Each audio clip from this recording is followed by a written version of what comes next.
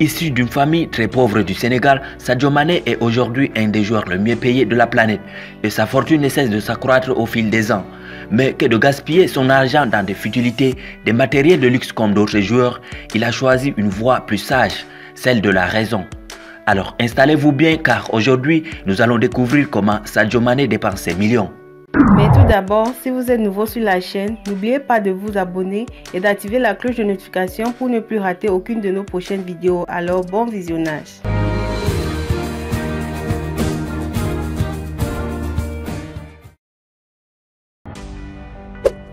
L'international sénégalais a toujours montré son attachement envers ses proches. La preuve en 2011, lorsque Mané avait quitté le Sénégal et arrivé en France au FC Metz, il souhaitait alors envoyer une photo de lui à sa mère, mais ce dernier n'avait pas d'appareil photo et très peu d'argent dans ses poches. Il demandait alors à un journaliste de prendre une photo de lui.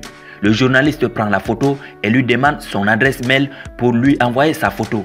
Mais Mané n'a pas d'adresse mail, donc il demande au journaliste d'envoyer la photo au Club Metz. Avant de partir, il demande au journaliste, je cite, cette photo est gratuite, n'est-ce pas?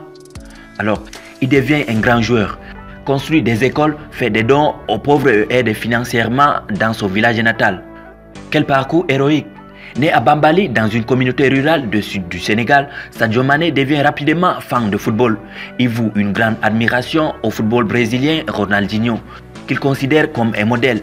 Son père, imam du village, ne voit pas d'un bon oeil sa passion de football et veut l'en dissuader. À l'âge de 15 ans, le jeune Mané passe outre la vie familiale et veut tenter de vivre sa passion. Il se souvient, je cite, j'ai fui le village pour aller à Dakar sans que personne ne le sache. Et une semaine après, alors qu'ils me cherchaient partout, ils ont su que j'étais à la capitale et m'ont alors amené au village. Mais à force de persuader, Mané convainc les siens de le laisser quitter le village pour rencontrer des formateurs en ville. Il se rend dans la plus grande ville de football au Sénégal avec son équipement précaire, un short et des chaussures abîmées. En 2018, Mané met à la disposition de son village natal un chèque d'une valeur de 234 000 euros pour contribuer au financement de la construction d'un lycée et offre 30 maillots de son club de Liverpool FC à son village. Sadio Mané fait ses débuts professionnels pour Metz le 14 janvier 2012.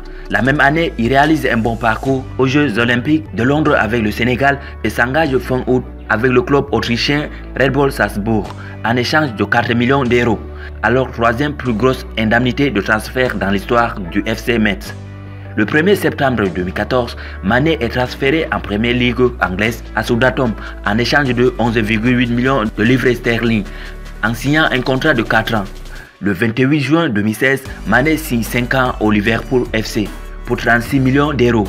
Il devient par la même occasion le joueur africain le plus cher de l'histoire du football. Il donne la victoire de la Cannes 2022 à son équipe nationale sénégalaise à l'issue d'une séance de tir au but face à l'Égypte. Alors, quel parcours exceptionnel de Sadio Mané N'hésitez pas à nous écrire en commentaire pour vos réactions. Bye et à la prochaine pour une nouvelle vidéo.